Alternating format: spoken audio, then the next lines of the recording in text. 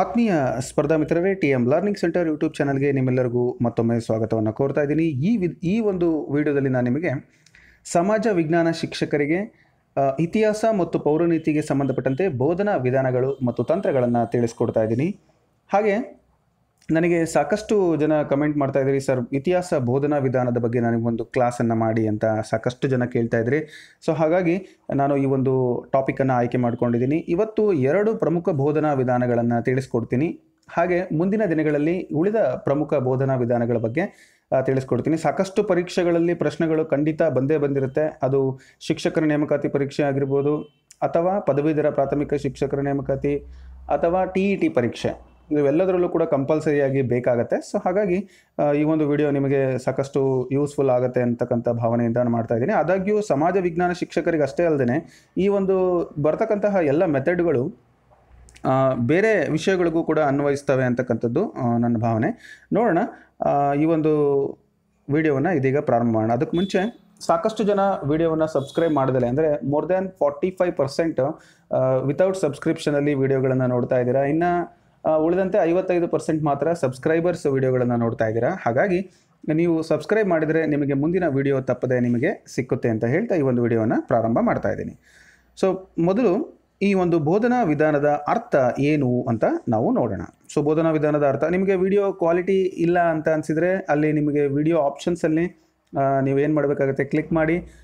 Video quality ಅಂತ ಇರುತ್ತೆ, ಅದನ್ನು ಆಟೋ ಅಂತ ಇರುತ್ತೆ, ಅದನ್ನು ಹೈ ಅಂತ ಕೊಡಿ. ಸೊ ಆಗ ನಿಮಗೆ ಈ ಒಂದು ವಿಡಿಯೋ ಡಿಸ್ಪ್ಲೇ ಚೆನ್ನಾಗಿ ಕಾಣಿಸುತ್ತೆ ಅಂತ ಹೇಳ್ತಾ ಮೊದಲಿಗೆ ಇದರ ಅರ್ಥವನ್ನು ನೋಡೋಣ. ಬೋಧನಾ ವಿಧಾನದ ಅರ್ಥ. ಸೊ ಈ ಒಂದು ಬೋಧನಾ ವಿಧಾನ ಏನಂತ ಹೇಳುತ್ತೆ ಅಂತ ಹೇಳಿದ್ರೆ, ಶಿಕ್ಷಕರು ತಮ್ಮ ಕಲಿಕೆ ಮತ್ತು ಕಲಿಸುವಿಕೆಯನ್ನು ಪರಿಣಾಮಕಾರಿಯಾಗಿಸಲು, ಪರಿಣಾಮಕಾರಿಯನ್ನಾಗಿಸಲು ಮತ್ತು ಸರಳವಾಗುವಂತೆ ನೋಡಿಕೊಳ್ಳಲು ಸರಳವಾಗುವಂತೆ ನೋಡಿಕೊಳ್ಳಲು ಮಹತ್ವಪೂರ್ಣ ಹಂತಗಳು ಚಟುವಟಿಕೆಗಳನ್ನು ವ್ಯವಸ್ಥಿತವಾಗಿ ಮತ್ತು ತಾರ್ಕಿಕವಾಗಿ ಯೋಜಿಸುವ ಕ್ರಮವನ್ನು ಬೋಧನಾ ಪದ್ಧತಿ ಅಂತೇಳಿ ಕರೀತಾರೆ. ಸೊ ಏನು ಬೋಧನಾ ಪದ್ಧತಿ ಅಂದರೆ ಬಹಳ ಇಂಪಾರ್ಟೆಂಟ್ ಇದು. ಶಿಕ್ಷಕರು ತಮ್ಮ ಕಲಿಕೆ ಮತ್ತು ಕಲಿಸುವಿಕೆಯನ್ನು ಪರಿಣಾಮಕಾರಿಯನ್ನಾಗಿಸಲು ಮತ್ತು ಸರಳವಾಗುವಂತೆ ನೋಡಿಕೊಳ್ಳಲು ಮಹತ್ವಪೂರ್ಣ ಹಂತಗಳು ಚಟುವಟಿಕೆಗಳನ್ನು ವ್ಯವಸ್ಥಿತವಾಗಿ ಮತ್ತು ತಾರ್ಕಿಕವಾಗಿ ಯೋಚಿಸುವ ಕ್ರಮವನ್ನು ಬೋಧನಾ ಪದ್ಧತಿ ಅಂತ ಕರಿತೀವಿ. ಸೊ ಯಾಕೆ ಸರ್ ಈ ಬೋಧನಾ ಪದ್ಧತಿಯನ್ನು ನಾವು ಬಳಸ್ಕೋಬೇಕು? ಅವಶ್ಯಕತೆ ಆದರೂ ಏನಿದೆ ಅಂತ ನಿಮಗೆ ಒಂದು ಪ್ರಶ್ನೆ ಬಂದರೆ, ವಿದ್ಯಾರ್ಥಿಗಳ ಕಲಿಕಾ ಆಸಕ್ತಿಯನ್ನು ಕೆರಳಿಸಲು ಸಹಾಯ ಮಾಡುತ್ತೆ. ಅಂದರೆ ವಿದ್ಯಾರ್ಥಿಗಳನ್ನು ಪರಿ, ಕಲಿಕೆಗೆ ನಾವು ಒಂದು ಆಸಕ್ತಿದಾಯಕವನ್ನಾಗಿ ಮಾಡಿಕೊಳ್ಬೇಕು. ಯಾಕಂದರೆ ಆಸಕ್ತಿ ಇದ್ರೇ ನಮಗೆ ಯಾವುದೇ ಒಂದು ವಿಧಾನ ಸಕ್ಸಸ್ ಆಗಲಿಕ್ಕೆ ಸಾಧ್ಯ ಇದೆ. ಹಾಗೆಯೇ ವಿದ್ಯಾರ್ಥಿಗಳಲ್ಲಿ ಉಚಿತ ಮೌಲ್ಯ ಕೆಲಸ ಅಂದರೆ ನಮಗೆ ಬೇಕಾಗಿರ್ತಕ್ಕಂತಹ ವಿದ್ಯಾರ್ಥಿಗಳಲ್ಲಿ ಉಚಿತ ಮೌಲ್ಯ ಮತ್ತು ಕೆಲಸ ಹಾಗೂ ಯೋಗ್ಯ ಮನೋಭಾವನೆಗಳನ್ನು ಮೂಡಿಸಬೇಕು. ಆ ಒಂದು ಕೆಲಸ ಆಗಬೇಕು ಅಂತ ಹೇಳಿದ್ರೆ ನಾವು ಅವಶ್ಯಕವಾಗಿ ಬೋಧನಾ ವಿಧಾನಗಳು, ತಂತ್ರಗಳು ಮತ್ತು ಬೋಧನಾ ಪದ್ಧತಿಗಳನ್ನು ತಿಳ್ಕೊಂಡಿರಬೇಕಾಗತ್ತೆ. ಹಾಗೆ ಮೂರ್ತ ಮತ್ತು ವಾಸ್ತವಿಕ ಸಮಾನತೆ ಮೂಲಕ ಅವರು ಕಲಿಯುವುದಕ್ಕೆ ಅವಕಾಶವನ್ನು ಕಲ್ಪಿಸಿಕೊಡಬೇಕು ಹಾಗೆಯೇ ಸ್ವ ಅಧ್ಯಯನ, ಅಂತರ್ದೃಷ್ಟಿ ಮೂಲಕ ಜ್ಞಾನ ಸಂಪಾದನೆಗಾಗಿ ತರಬೇತಿ ನೀಡುವುದು. ನೋಡಿ, ಸ್ವ ಅಧ್ಯಯನ ಸೆಲ್ಫ್ ಲರ್ನಿಂಗ್ ಇರಬೇಕು. ಅಂತರ್ದೃಷ್ಟಿಯ ಮೂಲಕ ಜ್ಞಾನ ಸಂಪಾದನೆ. ಸೊ ನೀವು ಅಂತರ್ದೃಷ್ಟಿ ಇಂಟ್ರೋಸ್ಪೆಕ್ಷನ್ ಏನಿದೆಯಲ್ಲ, ನಮ್ಮನ್ನು ನಾವು ಹೊಳಹೊಕ್ಕು ನೋಡ್ಕೊಳ್ಳೋದು. ಇವತ್ತು ನಾವು ಇಂಟ್ರೋಸ್ಪೆಕ್ಷನ್ ಮಾಡ್ಕೊಳ್ಬೇಕು ನಾವೇ. ಹೆಂಗೆ? ನಾನು ಇವತ್ತು ಎಷ್ಟು ಓದಿದ್ದೀನಿ? ನಾನು ಹೇಗೆ ಓದ್ತಾ ಇದ್ದೀನಿ? ನಾನು ಒಬ್ಬ ಸ್ಟೂಡೆಂಟ್ ಆಗಿ, ಅಥವಾ ನಾನು ಶಿಕ್ಷಕ ಹುದ್ದೆ ಆಕಾಂಕ್ಷಿಯಾಗಿ, ಅಥವಾ ನಾನು ಟಿ ಇ ಟಿ ಬರೀತಕ್ಕಂಥ ಅಭ್ಯರ್ಥಿಯಾಗಿ, ನಾನು ಯಾವ ರೀತಿಯಾಗಿ ನಡ್ಕೊಳ್ತಾ ಇದ್ದೀನಿ? ನನ್ನ ಒಂದು ದೇಹಗಳು. ಈಗ ಏನಾಗಿದೆ ಅಂದರೆ, ನಾವು ಮಾವಿನ ಸಸಿಯನ್ನು ನೆಡ್ತೀವಿ. ತಕ್ಷಣವೇ ಕಾಯಬೇಕು ಅಂತ ಯೋಚನೆ ಮಾಡ್ತೀವಿ. ಇದು ಸಾಧ್ಯ ಇಲ್ಲ, ನೀವು ನೆನಪಿರಲಿ, ಎಷ್ಟೋ ವರ್ಷಗಳು ಬೇಕು, ಈಗ ಹೈಬ್ರಿಡೈಸೇಷನ್ ಅಂದರೂ ಕೂಡ ಎರಡು ಮೂರು ವರ್ಷಗಳು ಬೇಕಾಗತ್ತೆ. ಹಾಗಾಗಿ ನಿಮ್ಮ ಒಂದು ಮಾವಿನ ಹಣ್ಣು ಸಿಗಬೇಕಾದ್ರೆ ಆ ಒಂದು ಗಿಡಕ್ಕೆ ಸರಿಯಾದ ಪೋಷಣೆ ಅವಶ್ಯಕ. ಪೋಷಣೆ ಅಂದರೆ ಒಂದು ಅಭ್ಯಾಸ, ನಿರಂತರ ಅಭ್ಯಾಸದಿಂದ ಮಾತ್ರ ಯಶಸ್ಸು ಸಾಧ್ಯ ಅಂತಕ್ಕಂಥದ್ದು. ನೀವು ಸ್ವ ಅಧ್ಯಯನ ಮಾಡ್ಕೋಬೇಕು, ಜೊತೆಗೆ ಅಂತರ್ದೃಷ್ಟಿ ಮೂಲಕ ನೀವು ಕಲಿಯಬೇಕು. ಅದೇ ಥರನೇ ವಿದ್ಯಾರ್ಥಿಗಳು ಅದನ್ನು ಸಂಪಾದನೆ ಮಾಡಬೇಕು ಅಂತಕ್ಕಂಥದ್ದು ಈ ಒಂದು ಬೋಧನಾ ವಿಧಾನದ ಒಂದು ಅವಶ್ಯಕತೆ. ಹಾಗೆಯೇ ಉನ್ನತ ವಿದ್ಯಾಭ್ಯಾಸ ಮತ್ತು ನವೀನ ಇತಿಹಾಸದ ಒಂದು ವಿಷಯ ಹಾಗೂ ಸಂಗತಿಯನ್ನು ಕಂಡುಹಿಡಿಯುವವರು ಯಾರು? ವಿದ್ಯಾರ್ಥಿಗಳು. ಅದಕ್ಕೋಸ್ಕರ ಈ ಒಂದು ಬೋಧನಾ ವಿಧಾನಗಳು ಅವಶ್ಯಕತೆ ಇದೆ ಅಂತಕ್ಕಂಥದ್ದು ನಿಮಗೆ ಗೊತ್ತಿರಲಿ. ಮತ್ತು ಹಾಗಾದರೆ ಈ ಒಂದು ಇತಿಹಾಸ ಬೋಧನಾ ವಿಧಾನಗಳು ಯಾವ್ಯಾವು ಅಂತ ನೋಡೋದಾದರೆ ನಿಮಗೆ ಒಂದೊಂದೇ ಹೇಳ್ಬಿಡ್ತೀನಿ. ಚರ್ಚಾ ಪದ್ಧತಿ ಒಂದಿದೆ. ಇತಿಹಾಸ ಬೋಧನೆ ವಿಧಾನಗಳಲ್ಲಿ ಒಂದು ಮುಖ್ಯವಾದಂಥದ್ದು. ಹಾಗೆ ಚರ್ಚಾ ಪದ್ಧತಿಯ ನಂತರ ಯೋಜನಾ ವಿಧಾನ ಇದೆ. ಯೋಜನಾ ವಿಧಾನ ಅದಾದ ನಂತರ ಇರ್ತಕ್ಕಂಥದ್ದು ಪ್ರಮುಖವಾದಂಥ ವಿಧಾನ ಸಮಸ್ಯೆ ಪರಿಹಾರ ವಿಧಾನ. ಸೊ ಈ ಸಮಸ್ಯೆ ಪರಿಹಾರ ವಿಧಾನ ಹಾಗೆಯೇ ಮೂಲಾಧಾರ ವಿಧಾನ. ಸಾಕಷ್ಟು ಸಾರಿ ನಿಮಗೆ ಪರೀಕ್ಷೆಗಳಲ್ಲಿ ಬಂದಿದೆ ಅದು. ಮೂಲಾಧಾರ ವಿಧಾನ ಎಂದರೇನು? ಮೂಲಾಧಾರ ವಿಧಾನ. ಅದು ಮೂಲಾಧಾರ ವಿಧಾನ ಅಂದರೆ ಏನು ಸರ್ ಅಂತ ಕಮೆಂಟ್ಸ್ ಮಾಡ್ತಾ ಇದ್ರಿ. ಅದ್ರ ಬಗ್ಗೆ ನಾನು ತಿಳಿಸ್ಕೊಡ್ತೀನಿ.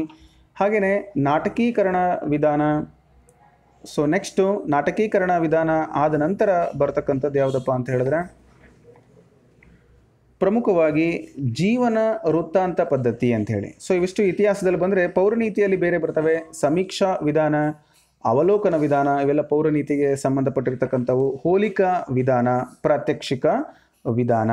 ಸೊ ಇವೆಲ್ಲವೂ ಕೂಡ ಬರ್ತವೆ. ಹಾಗೆ ಮಾದರಿಗಳು ಕೂಡ ಬರ್ತವೆ. ಇವೆಲ್ಲ ಒಂದು ಗುಣಗಳು, ಅವಗುಣಗಳು, ಹಂತಗಳು, ಮತ್ತು ಶಿಕ್ಷಕರ ಒಂದು ಕರ್ತವ್ಯಗಳು, ಶಿಕ್ಷಕರ ಒಂದು ಪಾತ್ರ, ವಿದ್ಯಾರ್ಥಿಗಳ ಪಾತ್ರ, ಇವೆಲ್ಲವನ್ನು ಕೂಡ ನಾವು ಇವಾಗ ಡೀಟೇಲ್ ಆಗಿ ಡಿಸ್ಕಷನ್ ಮಾಡ್ತಾ ಹೋಗೋಣ. ಇವತ್ತಿನ ತರಗತಿಯಲ್ಲಿ ಪ್ರಮುಖವಾಗಿ ಚರ್ಚಾ ಪದ್ಧತಿಯನ್ನು ನಾನು ಕೈಗೆತ್ಕೊಂಡಿದ್ದೀನಿ ಅದರ ಬಗ್ಗೆ ನೋಡೋಣ. ಏನು ಚರ್ಚಾ ಪದ್ಧತಿ ಅಂತ ಹೇಳಿದ್ರೆ, ವರ್ಗದ ವಿದ್ಯಾರ್ಥಿಗಳು ಹಾಗೂ ಶಿಕ್ಷಕರು ವಿಶಿಷ್ಟ ವಿಷಯ ಸಮಸ್ಯೆಗಳಿಗೆ ಸಂಬಂಧಿಸಿದಂತೆ ಸಾಮೂಹಿಕವಾಗಿ ವಿಚಾರ ಮಾಡಿ ನಿರ್ಣಯಕ್ಕೆ ಬರುವಂತಹ ತರಬೇತಿಯನ್ನು ಒದಗಿಸುವಂತಹ ಕಲೆಯೇ ಚರ್ಚಾ ಪದ್ಧತಿ. ಯಾವುದಾದ್ರೂ ಒಂದು ವಿಷಯ ಇರ್ಬೋದು, ವಿಶಿಷ್ಟವಾದ ವಿಷಯ ಅಥವಾ ಸಮಸ್ಯೆ. ಈಗ ಫಾರ್ ಎಕ್ಸಾಂಪಲ್ ತರಗತಿಯಲ್ಲಿ ಶಿಕ್ಷೆ ಕೊಡ್ತಕ್ಕಂಥದ್ದು ಸರಿ ಅಥವಾ ತಪ್ಪು? ಇದೊಂದು ಚರ್ಚೆಯ ವಿಷಯ. ಇದು ಜನರಲ್ ಕಾನ್ಸೆಪ್ಟ್ ಇದು ಇತಿಹಾಸ ಶಿಕ್ಷಕರು ಅಥವಾ ವಿಜ್ಞಾನ ಶಿಕ್ಷಕರು ಅಥವಾ ಗಣಿತ ಶಿಕ್ಷಕರು ಬಳಕೆ ಮಾಡಬೇಕು ಅಂತ ಏನೂ ಇಲ್ಲ. ಆದರೆ ವಿಶಿಷ್ಟವಾದ ವಿಷಯವನ್ನು ನೀವು ಇಟ್ಕೋಬೇಕು. ಜನಸಂಖ್ಯಾ ಸ್ಫೋಟ ಅಥವಾ ಮಹಿಳೆಯರಿಗೆ ಶಿಕ್ಷಣದಲ್ಲಿ ಹೆಚ್ಚಿನ ಆದ್ಯತೆ ಈ ಥರದ ಒಂದು ಅಂಶಗಳನ್ನು ಇತಿಹಾಸಕ್ಕೆ ಸಂಬಂಧಪಟ್ಟಂತೆ ನಾವೇನು ಮಾಡಬೇಕಾಗತ್ತೆ? ಅಥವಾ ಯಾವುದೇ ಸಬ್ಜೆಕ್ಟಿಗೆ ಸಂಬಂಧಪಟ್ಟಂತೆ, ವಿಶಿಷ್ಟ ವಿಷಯ ಅಥವಾ ಸಮಸ್ಯೆಗಳಿಗೆ ಸಂಬಂಧಪಟ್ಟಂತೆ ಸಾಮೂಹಿಕವಾಗಿ ವಿಚಾರ ಮಾಡಿ, ನಿರ್ಣಯಕ್ಕೆ ಬರುವಂತಹ ಒಂದು ತರಬೇತಿಯನ್ನು ಒದಗಿಸುವಂತಹ ಕಲೆಯೇ ಚರ್ಚಾ ಪದ್ಧತಿ ಅಂತ ನಾವು ಹೇಳ್ಬೋದು. ಸೊ ಇದನ್ನು ಅದಕ್ಕೆ ನಾವು ಏನೆಲ್ಲ ಮಾಡ್ಕೋಬೇಕು, ಯಾವ ಹಂತಗಳನ್ನು ಬಳಸಬೇಕು ಅಂತ ಹೇಳಿದ್ರೆ ಪ್ರಮುಖವಾಗಿ ಚರ್ಚಾ ಪದ್ಧತಿಯಲ್ಲಿ ಮೂರು ಹಂತಗಳನ್ನು ನಾವು ಬಳಸ್ತೀವಿ. ಒಂದದು ಪೂರ್ವ ಸಿದ್ಧತೆ, ಹಾಗೆ ಚರ್ಚಾ ಕ್ರಮ, ಮೌಲ್ಯಮಾಪನ ಅಂತೇಳಿ. ಪೂರ್ವ ಸಿದ್ಧತೆ ಅಂದರೆ ಏನು? ಯಾವ ರೀತಿಯಾಗಿ ಪೂರ್ವ ಸಿದ್ಧತೆಯನ್ನು ಮಾಡಿಕೊಳ್ಬೇಕು ಅಂತ ಹೇಳಿದ್ರೆ, ಸಿದ್ಧತೆ ಪರಿಪೂರ್ಣವಾಗಿರಬೇಕು. ಶಿಕ್ಷಕನು ವಿಷಯದಲ್ಲಿ ಅಥವಾ ವಿಷಯವನ್ನು ಆಳವಾಗಿ ಎಲ್ಲ ದೃಷ್ಟಿಕೋನಗಳಿಂದಲೂ ವಿಚಾರಿಸಿರಬೇಕು. ಮೊದಲು ಶಿಕ್ಷಕನಿಗೆ ಆ ಒಂದು ವಿಚಾರದ ಜ್ಞಾನ ಇರಬೇಕು. ಆ ನಂತರನೇ ಅದನ್ನು ಮಕ್ಕಳಿಗೆ ಕೊಡ್ತಕ್ಕಂಥದ್ದು ಪೂರ್ವ ಸಿದ್ಧತೆ ಬಹಳ ಮುಖ್ಯ.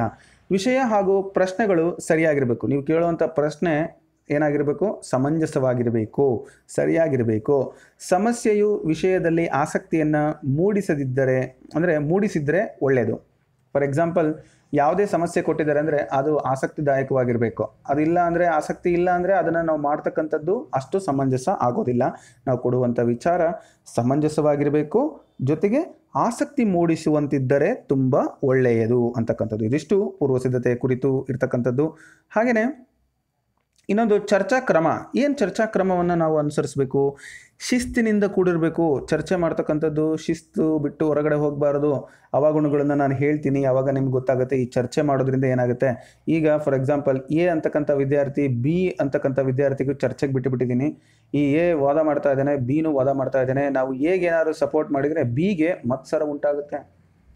ಶಿ ಸಿಟ್ಟು ಬರುತ್ತೆ, ದ್ವೇಷದ ಭಾವನೆ ಉಂಟಾಗುತ್ತೆ, ತರಗತಿಯಲ್ಲೇ ಒಂಥರ ಅಹಿತಕರ ಒಂದು ಮನೋಭಾವನೆ ಉಂಟಾಗುತ್ತೆ. ಸೊ ಇದನ್ನೆಲ್ಲ ಶಿಸ್ತನ್ನು ಕಾಪಾಡಬೇಕು. ಚರ್ಚೆ ನಡೆಸುವಂಥ ಗುಂಪುಗಳು ಅಥವಾ ವ್ಯಕ್ತಿಗಳು ಎದುರು ಬಿದುರು ಇರಬೇಕು. ಅಂದರೆ ಎದುರ ಬದರ ಕೂತಿರಬೇಕು. ಚರ್ಚೆಯಲ್ಲಿ ಒಬ್ಬನೇ ಮಾತನಾಡದಂತೆ ನೋಡ್ಕೊಳ್ಬೇಕು. ಅವನೊಬ್ಬನೇ ಮಾತಾಡಬಾರ್ದು ಇಬ್ಬರೂ ಮಾತಾಡಬೇಕು. ಚರ್ಚೆಯಲ್ಲಿ ತಾಳ್ಮೆ, ಜಾಣ್ಮೆ ಮತ್ತು ಕೌಶಲ್ಯವನ್ನು ಮುಖ್ಯ ಅಂತಕ್ಕಂಥದ್ದನ್ನು ಶಿಕ್ಷಕರು ಮೊದಲು ತಿಳಿದಿರಬೇಕು. ನಂತರ ಇನ್ನು ಮೂರನೇದು ಮೌಲ್ಯಮಾಪನ. ಈ ಚರ್ಚೆಯನ್ನು ಏರ್ಪಡಿಸಿದ ನಂತರ ಮೌಲ್ಯಮಾಪನವಿಲ್ಲದೆ ಚರ್ಚೆಯ ಉದ್ದೇಶ ಫಲಿಸದೆ ಫಲಿಸದೆ ಇರ್ತಕ್ಕಂಥದ್ದು ನಿಮಗೆ ಗೊತ್ತಿರಬೇಕು. ಮೌಲ್ಯಮಾಪನಕ್ಕೆ ಅವಕಾಶ ಇರಬೇಕು. ಯಾವ ರೀತಿಯಾಗಿ ಇವರು ಮಂಡಿಸಿರ್ತಕ್ಕಂಥ ವಿಚಾರಗಳು ಸರಿ ಇದ್ದಾವೆ ಅಂತಕ್ಕಂಥದ್ದನ್ನು ಶಿಕ್ಷಕ ಮೌಲ್ಯಮಾಪನವನ್ನು ಮಾಡಬೇಕಾಗತ್ತೆ. ಸೊ ಇದಿಷ್ಟು ಆ ಚರ್ಚಾ ಪದ್ಧತಿಯ ಹಂತಗಳು. ಹಾಗಾದರೆ ಈ ಒಂದು ಚರ್ಚಾ ಪದ್ಧತಿಯ ಅವಶ್ಯಕತೆಗಳು ಏನು ಅಂತಕ್ಕಂಥದ್ದನ್ನು ನೋಡೋಣ. ಸೊ ಚರ್ಚಾ ವಿಧಾನದ ಅವಶ್ಯಕತೆಗಳು. ಮೊದಲನೇದಾಗಿ ಶಿಕ್ಷಕ, ಅಂದರೆ ಇಲ್ಲಿ ಮೊದಲನೇ ಪಾಯಿಂಟ್, ಶಿಕ್ಷಕ. ಈ ಶಿಕ್ಷಕರಿಗೆ ಯಾವ ರೀತಿಯಾಗಿ ಒಂದು, ಈ ಒಂದು ಕಾರ್ಯಕ್ರಮವನ್ನು ರೂಪಿಸಬೇಕು ಅಂತ ನೋಡೋದಾದರೆ, ಮುಖಂಡ ಅಥವಾ ಶಿಕ್ಷಕ, ಆ ಚರ್ಚಾ ಪದ್ಧತಿಯನ್ನು ನಡೆಸ್ತಕ್ಕಂಥವರು ಆಳವಾದ ಜ್ಞಾನವನ್ನು ಹೊಂದಿರಬೇಕು, ಚರ್ಚೆಯಲ್ಲಿ ಅವಶ್ಯಕವಾಗಿ ತನ್ನ ಅಧಿಕಾರವನ್ನು ಚಲ, ಅಂದರೆ ಅನಾವಶ್ಯಕವಾಗಿ ಅಧಿಕಾರ ಕೊಡಬಾರದು. ಕಾರಣ ಚರ್ಚೆಯಲ್ಲಿ ಭಾಗವಹಿಸುವ ವಿದ್ಯಾರ್ಥಿಗಳ ಉತ್ಸಾಹ ಕುಗ್ಗಬಹುದು, ಚರ್ಚೆಯಲ್ಲಿ ಸಂಶಯ ಸುಳಿದಾಗ ಮಾತ್ರ ಭಾಗವಹಿಸಬೇಕು. ಏನಾದರೂ ಅಲ್ಲಿ ಡಿಸ್ಟರ್ಬೆನ್ಸ್ ಆಗ್ತಾ ಇದೆ ಎಂದಾಗ ಮಾತ್ರ ಅವರು ಅದನ್ನು ಮುಂದೆ ಬಿದ್ದು ಆ ಕೆಲಸವನ್ನು ಮಾಡಬೇಕು. ಇನ್ನು ಗುಂಪಿಗೆ ಸಂಬಂಧಪಟ್ಟಂತೆ ಗುಂಪಿನಲ್ಲಿ ವರ್ಗದ ಎಲ್ಲ ಜಾಣ ಮತ್ತು ದಡ್ಡ ವಿದ್ಯಾರ್ಥಿಗಳು ಒಳಗೊಂಡಿರಬೇಕು. ಬರೀ ಇಂಟೆಲಿಜೆಂಟ್ ವಿದ್ಯಾರ್ಥಿಗಳನ್ನು ಸೇರಿಸ್ಕೊಳ್ಳೋದು ಅಥವಾ ಬರೀ ದಡ್ಡ ವಿದ್ಯಾರ್ಥಿಗಳನ್ನು ಸೇರಿಸ್ಕೊಳ್ಳೋದು ಆಗಬಾರ್ದು. ಅವರಿಗೆ ಜಾಣ ವಿದ್ಯಾರ್ಥಿಗಳು, ದಡ್ಡ ವಿದ್ಯಾರ್ಥಿಗಳು ಎರಡೂ ಗ್ರೂಪನ್ನು ಮಾಡಿರಬೇಕು. ಒಂದು ಗ್ರೂಪು ಇಂಟೆಲಿಜೆಂಟು ಇನ್ನೊಂದು ಗ್ರೂಪು ಸ್ವಲ್ಪ ಪೂರ್ ನಾಲೆಡ್ಜ್ ಇರತಕ್ಕಂಥವ್ರನ್ನ ನಾವಿಲ್ಲಿ ಸೇರಿಸ್ಕೊಳ್ತಕ್ಕಂಥದ್ದು ಬಹಳ ಮುಖ್ಯ. ಹಾಗೆಯೇ ಚರ್ಚಾ ವಿಷಯ ಅಥವಾ ಸಮಸ್ಯೆಗೆ ಸಂಬಂಧಪಟ್ಟಂತೆ ನೋಡೋದಾದರೆ ವಿದ್ಯಾರ್ಥಿಗಳು ಚರ್ಚಾ ವಿಷಯವನ್ನು ತಮ್ಮ ಸ್ವಂತ ಸಮಸ್ಯೆ ಎಂದು ಭಾವಿಸಬೇಕು. ಅಂದರೆ ಈಗ ಏನೋ ಒಂದು ಪ್ರಾಬ್ಲಮ್ ಆಗಿದೆ, ಅದರ ಬಗ್ಗೆ ಚರ್ಚೆ ಮಾಡ್ತಾ ಇದ್ದಾನೆ. ಏನು ಫಾರ್ ಎಕ್ಸಾಂಪಲ್ ಶಿಕ್ಷೆ ಕೊಡ್ತಕ್ಕಂಥ ತರಗತಿಯಲ್ಲಿ ತಪ್ಪು ಅಂತ ಒಬ್ಬ, ಸರಿ ಅಂತ ಒಬ್ಬ. ಅವನು ತನ್ನನ್ನು ತಾನು ಭಾವಿಸ್ಕೋಬೇಕು. ನೋಡ್ರಿ ಮೊನ್ನೆ ನನಗೆ ಶಿಕ್ಷಕರು ಹೊಡೆದಿದ್ರು ನಾನು ಅಂದರೆ ಪೆಟ್ಟನ್ನು ಕೊಟ್ಟಿದ್ದರು ಸೊ ಆ ಪೆಟ್ಟನ್ನು ಕೊಟ್ಟ ನಂತರ ಅದೇನಾಗ್ತಾ ಇದೆ? ಮಕ್ಕಳಿಗೆ ಒಂದು ನನಗೆ ಮತ್ತೆ ಶಿಕ್ಷಕರು ಪನಿಷ್ಮೆಂಟನ್ನು ಕೊಡ್ತಾರೆ ಅಂತಕ್ಕಂಥ ಧೋರಣೆಯಿಂದ ನಾನು ಶಾಲೆಗೆ ಬರೋದನ್ನು ಒಂದಿನ ಬಿಟ್ಟುಬಿಟ್ಟಿದ್ದೆ ಸೊ ಈ ರೀತಿ ಏನು ಮಾಡೋದು? ಒಂದು ಚರ್ಚೆಯ ವಿಷಯ ಅಥವಾ ಸಮಸ್ಯೆ ನಂದೇ ಅಂತಕ್ಕಂಥ ಭಾವನೆ ಮಕ್ಕಳಲ್ಲಿರಬೇಕು.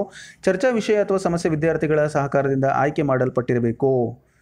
ಈ ಚರ್ಚಾ ವಿಷಯ ಆಯ್ಕೆ ಮಾಡಬೇಕಾದ್ರೆ, ಆ ಒಂದು ಕಾರ್ಯಕ್ರಮವನ್ನು ಯೋಜಿಸೋಕ್ಕಿಂತ ಮುಂಚೆ ಶಿಕ್ಷಕ ವಿದ್ಯಾರ್ಥಿಗಳೊಟ್ಟಿಗೆ ಚರ್ಚೆ ಮಾಡಿ ಆಯ್ಕೆಯನ್ನು ಮಾಡಬೇಕು. ಮತ್ತು ಆ ಸಮಸ್ಯೆ ವಿದ್ಯಾರ್ಥಿಗಳ ಬುದ್ಧಿಗೆ ನಿಲುಕುವಂತಿರಬೇಕು. ಅದು ಯಾವುದೋ ಇಂಟರ್ನ್ಯಾಷನಲ್ ಆಗಿ ಕೊಟ್ಟು, ಅದು ಯಾವುದೋ ಒಂದು ಬರ್ಮೋಡೋ ಟ್ರಯಾಂಗಲ್ಸ್ ಇದ್ರ ಬಗ್ಗೆ ಚರ್ಚೆ ಮಾಡಿ. ಗೊತ್ತೇ ಇಲ್ಲ. ಮಕ್ಕಳಿಗೆ ಅದೆಲ್ಲಿದೆ ಬರ್ಮೋಡೋ ಟ್ರಯಾಂಗಲ್ಸ್ ಅಂದ್ರೇನು? ಅಮೆಜಾನ್ನ ದೈತ್ಯ ಕಾಡುಗಳಲ್ಲಿರುವಂತಹ ಕ್ರೂರ ಪ್ರಾಣಿಗಳು. ಅಮೆಜಾನ್ ಕಾಡಿಗೆ ಹೋಗೇ ಇಲ್ಲ ಮಕ್ಕಳು ಅವರ ಒಂದು ತರ್ಕಕ್ಕೆ ನಿಲುಕದ್ದಾಗಿರುತ್ತೆ ಏಲಿಯನ್ಸ್ ಸೊ ಇದ್ರ ಬಗ್ಗೆ ಗೊತ್ತೇ ಇರಲ್ಲ. ಅಂಥ ವಿಚಾರಗಳನ್ನು ಕೊಡಬಾರದು. ಇನ್ನು ನಾಲ್ಕನೇದಾಗಿ ಅವಶ್ಯಕ ಸಾಮಗ್ರಿಗಳು. ಏನು? ಅವಶ್ಯಕ ಸಾಮಗ್ರಿಗಳಲ್ಲಿ ನಕಾಶೆ ಇರ್ಬೋದು, ತಕ್ತೆ ಇರ್ಬೋದು, ಚಿತ್ರಪಟಗಳಿರ್ಬೋದು ಮತ್ತು ಮಾದರಿಗಳಿರ್ಬೋದು. ಇವನ್ನೆಲ್ಲ ಕೂಡ ತಯಾರಿ ಮಾಡಿ ರೆಡಿ ಇಟ್ಕೊಂಡಿರಬೇಕು. ಹಾಗೆ ನಂತರ ಮೌಲ್ಯಮಾಪನ ಮಾಡ್ತಕ್ಕಂಥದ್ದು ಕೂಡ ಈ ಒಂದು ಚರ್ಚೆಯಲ್ಲಿ ಪ್ರಮುಖವಾಗಿ ಬೇಕಾಗಿರ್ತಕ್ಕಂತಹ ಅವಶ್ಯಕ ಅಂಶ. ಅಂದರೆ ಚರ್ಚೆಯ ಸತ್ಯ, ಅಸತ್ಯತೆಗಳನ್ನು ಅರಿವಿಗೆ, ಅರಿವಿಗಾಗಿ ಮೌಲ್ಯಮಾಪನವನ್ನು ಉಪಯೋಗಿಸಿಕೊಳ್ಬೇಕು ಅಂತಕ್ಕಂಥದ್ದು. ಹಾಗಾದರೆ ಚರ್ಚಾ ಪದ್ಧತಿಯ ಪ್ರಕಾರಗಳನ್ನು ನಾವು ನೋಡೋಣ. ಯಾವ ರೀತಿಯಾದ ಪ್ರಕಾರಗಳನ್ನು ಈ ಚರ್ಚಾ ಪದ್ಧತಿ ಹೊಂದಿದೆ ಅಂತ ನೋಡೋದಾದರೆ, ಮೊದಲಿಗೆ ಶಿಕ್ಷಕರೊಡನೆ ಚರ್ಚೆ. ಯಾರು ಮಾಡೋದಿಲ್ಲ ಅಂತೀರಾ? ಖಂಡಿತ ಮಾಡ್ತಾರೆ. ಶಿಕ್ಷಕರೊಡನೆ ಯಾವ ರೀತಿ ಚರ್ಚೆ ಮಾಡ್ತಾರೆ ಅಂದರೆ ಸಂಬಂಧಿಸಿದ ವಿಷಯ ಅಥವಾ ಸಮಸ್ಯೆಗೆ ತಕ್ಕಂತೆ ಶಿಕ್ಷಕರು ವಿಷಯ ಗ್ರಹಣೆಯನ್ನು ಮಾಡಿರಬೇಕು. ಸಮಸ್ಯೆಗೆ ಸಂಬಂಧಿಸಿದ ಪ್ರಶ್ನೆಗಳ ಪಟ್ಟಿ ನಂತರ ಚರ್ಚೆಯನ್ನು ನಡೆಸಬೇಕು. ಇದು ಶಿಕ್ಷಕರೊಡನೆ ಚರ್ಚೆ ಆಗ್ತದೆ. ಹಾಗೆ ಮಕ್ಕಳು ಶಿಕ್ಷಕರು ಮೊದಲು ಸಮಸ್ಯೆಗಳನ್ನು ಬರೆದಿಟ್ಕೊಂಡು ಅದಕ್ಕೆ ಸಂಬಂಧಪಟ್ಟಂತೆ ವಿಶ್ಲೇಷಣಾತ್ಮಕವಾಗಿ ಪ್ರಶ್ನೆಗಳನ್ನು ಕೇಳಲಿಕ್ಕೆ ಮಕ್ಕಳಿಗೆ ಅವಕಾಶವನ್ನು ಕಲ್ಪಿಸಿಕೊಡಬೇಕು. ಆಗ ಅದು ತುಂಬ ಸಮಂಜಸವಾದಂತಹ ಒಂದು ಕೆಲಸ ಆಗುತ್ತೆ. ತುಂಬ ಒಂದು ಎಫೆಕ್ಟಿವ್ ಆಗುತ್ತೆ ಅಂತೇಳಿ. ಯಾವುದೇ ಪ್ರೀ ಪ್ಲ್ಯಾನ್ ಮಾಡ್ದಲೇ ಮಾಡೋಕ್ಕೆ ಹೋದರೆ ಏನಾಗುತ್ತೆ? ಅದು ಫೇಲ್ಡ್ ಆಗುತ್ತೆ. ಇನ್ನು ಗುಂಪುಗಳ ಮಧ್ಯೆ ಚರ್ಚೆ, ಎರಡನೇದು. ಇದು ಎರಡನೇ ಪ್ರಕಾರ. ಇದು ಮೊದಲು ಶಿಕ್ಷಕರೊಡನೆ ಚರ್ಚೆ ಮಾಡ್ತಕ್ಕಂಥದ್ದು, ನಂತರ ಗುಂಪುಗಳ ಮಧ್ಯೆ.